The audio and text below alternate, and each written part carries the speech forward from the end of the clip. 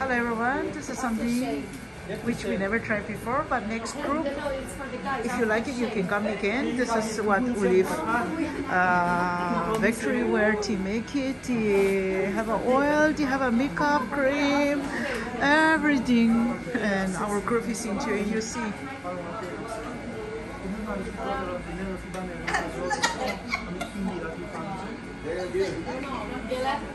Dana, we're about to have here about 600,000 Americans. So, about. So, maybe 700,000. Where from? Where from? You're not living in this group? You're Burma- You're Burmese? Let me see your report. She's pretty. Very. Very pretty. Huh? You stay here all because if you don't go there, I don't need to. Oh, okay, good. Let's stay here. Because I want to eat